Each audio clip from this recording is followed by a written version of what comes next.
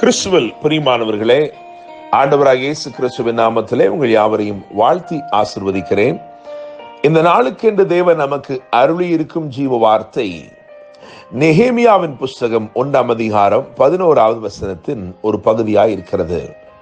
இன்றைக்கு உமது அடியானுக்கு காரியத்தை கைகூடி வர பண்ணி இந்த மனுஷனுக்கு முன்பாக எனக்கு இரக்கம் கிடைக்க பண்ணியருளும் என்று பிரார்த்தித்தேன் என்று எழுதியிருக்கிறது.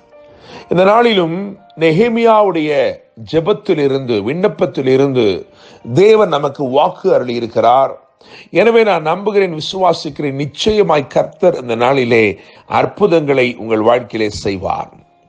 சூசான் அரண்மனையிலே அர்த்தசஷ்டா ராஜாவுக்கு பானபாத்திரக்காரனாய் இருந்த நெஹேமியா எருசலேம் இடிக்கப்பட்டு அதன் அலங்கமெல்லாம் சுட்டரிக்கப்பட்டு அந்த தேசமே மண்மேடாய் கிடக்கிறது என்று கேள்விப்பட்டவுடன் அவன் தேவ சமூகத்திலே உபவாசத்தோட கூட ஜபிக்க ஆரம்பித்து அங்கே செல்லும்படிக்கு பிரயத்தனம் செய்து அதற்காக ராஜாவினிடத்திலே பேசும் முகாந்தரத்தில் அவன் ஒரு விண்ணப்பத்தை ஏறெடுக்கிறான். அதன் விளைவாக அவன் இப்படியாய் சொல்லுகிறான் இன்றைக்கு உமது அடியானுக்கு காரியத்தை கைகூடி வர பண்ணி இந்த மனுஷனுக்கு முன்பாக எனக்கு இரக்கம் கிடைக்க பண்ணியர்களும் என்று செபிக்கிறான். அதன் முகாந்திரம் அதன் காரணம் என்னவென்று சொன்னால் அவன் ஒரு உத்தியோகஸ்தனாய் இருக்கிறான். அவன் பானபாத்திரக்காரனாய் இருக்கிறான். ராஜாவை பிரியப்படுத்தும் ஒரு வேலையில் அவன் அமர்த்தப்பட்டிருக்கிறான். அவன் நித்தமும் அந்த வேலையை செய்து கொண்டிருக்க வேண்டும். இப்பொழுது அவனுக்கு ஒரு விடுப்பு தேவைப்படுகிறது லீவ் தேவைப்படுகிறது. எனவே அவன் போய் ராஜாவினிடத்திலே தன் காரியங்களை வியாச்சியங்களை எடுத்துரைத்து அவன் அவன் அப்படியாக அந்த விடுப்பு பெற்று அந்த லீவ் பெற்றுக்கொண்டு அவன் விடைபெற்று தன் தேசத்திற்கு செல்ல வேண்டும். அதற்காகத்தான் அவன் செல்ல போகிறான் எனவே அதற்கு முன்பதாக அவன் அப்படியாய் மன்றாடுகிறான் செபிக்கிறான். என கேட்கிற தேவனுடைய பிள்ளைகளே இந்த வாக்கு தத்தத்தை முன்னிட்டு நான் நிச்சயமாக நம்புகிறேன் விசுவாசிக்கிறேன்.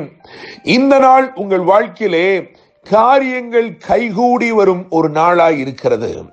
இந்த நாள் தேவன் நீங்கள் நினைப்பதற்கும் வேண்டிக் கொள்வதற்கும் மிகவும் அதிகமாய் உங்களுக்கு கிரியை செய்து நன்மையை அருளும் ஒரு நாளாக இருக்கிறது. இந்த அதிகாரம் முழுவதையும் வாசித்து பார்த்தால் இன்னும் இந்த புஸ்தகத்தின் சில அதிகாரங்களை வாசித்து பார்த்தால் நீங்கள் ஒரு காரியத்தை புரிந்து கொள்ளலாம். அர்த்தசஷ்டா ராஜா அவன் எழுப்பின மூன்று கேள்விகளும் அவன் கொடுத்து அனுப்பின மூன்று கடிதங்களும் குறித்து அங்கே எழுதப்பட்டிருக்கிறது. அவைகளை மாத்திரம் அந்த நாளிலே தியானம் செய்ய இருக்கிறோம். நிச்சயமாய் நான் நம்புகிறேன். அந்த கேள்விகள் ஒரு ராஜாவினிடத்திலிருந்து எழுப்பப்படும் கேள்விகள் மாத்திரமல்ல. தேவாதி தேவனிடத்திலிருந்து இன்னைக்கு அதே கேள்விகள் எழுப்பப்படுகிறது. அதுபோல தேவாதி தேவன் இன்றைக்கு சில கடிதங்களை எழுத்துப்பூர்வமான சில கட்டளைகளை உங்களுக்காக இவர் பிறப்பிக்க இருக்கிறார். அதனால் நிச்சயமாய் நன்மை அடைவீர்கள். என கேட்கும் தேவனுடைய பிள்ளைகளே முதலாவது அந்த கேள்விகளுக்கு நேராய் வருவோம். இரண்டாம் அதிகாரத்தில் இவைகள் வரிசைப்படுத்தப்பட்டிருக்கிறது. இரண்டாம் அதிகாரம் இரண்டாம் வசனத்தை கவனிக்கும் பொழுது முதல் கேள்வி இப்படியா இருக்கிறது. நீ துக்க முகமாய் இருக்கிறது என்ன? நம்முடைய தேவன் நம்மை விசாரிக்கிற தேவனாய் இருக்கிறார். நம்முடைய தேவன் விசாரிக்கிறார். இன்னைக்கு உங்களை பார்த்து கேட்கிறார் நீ துக்கமுகமாய் இருக்கிறது என்ன? என்று கேட்கிறார். இரண்டாவது கேள்வியாக இரண்டாம் அதிகாரம் நான்காம் வசனத்தில் இருக்கிறது.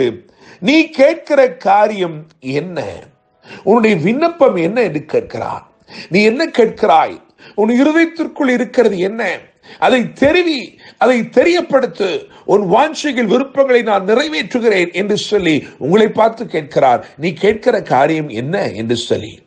மூன்றாவதாக இரண்டாம் அதிகாரம் ஆறாம் சிறந்தை கவனிக்கும் பொழுது அங்கே ஒரு அருமையான கேள்வி சொல்லப்பட்டிருக்கிறது. நீ எப்பொழுது திரும்பி வருவாய்?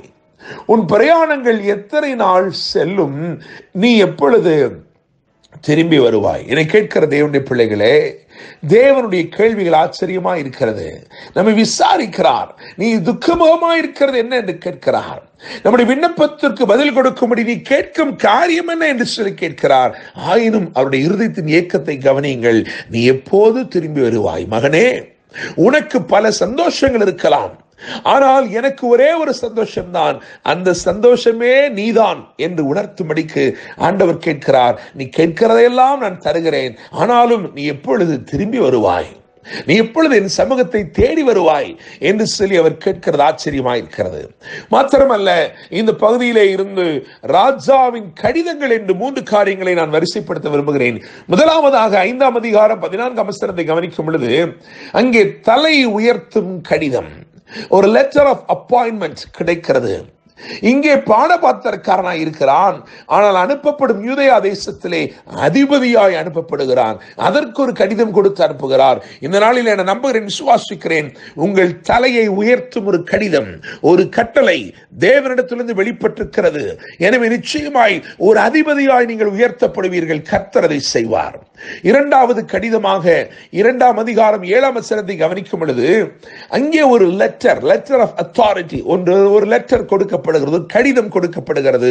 அதை நான் தடை நீக்கும் கடிதம் என்று நான் சொல்கிறேன் காரணம் எல்லாரும் வழிவிட்டு அனுப்பும்படிக்கு யாரும் தடை செய்யாதபடிக்கு தேசாதிபதிகள் என்னை வழிவிட்டு அனுப்பும்படிக்கு அவர்களுக்கு கடிதங்கள் கொடுக்கப்படும்படிக்கு என்று எழுதியிருக்கிறது.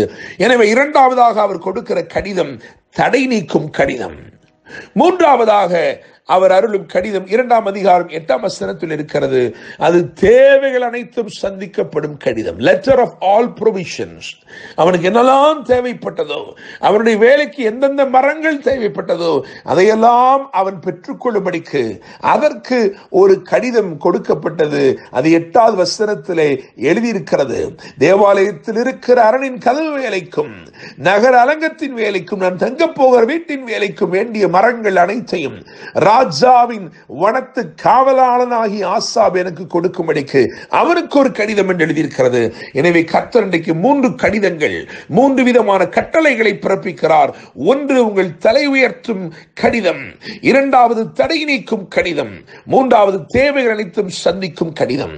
கர்த்தர் தாமே இந்த நாளிலே உங்களுடைய உங்களோடு கூடவே இருந்து உங்கள் காரியங்களை எல்லாம் கைகூடி வர பண்ணி நீங்கள் ஜெபித்ததற்கும் நீங்கள் விண்ணப்பம் பண்ணினதற்கும் மேலான நன்மைகளை அருளி உங்களை ஆசிர்வதிப்பாராக. என்றும் அன்புடன் pastor Daniel Moses God bless you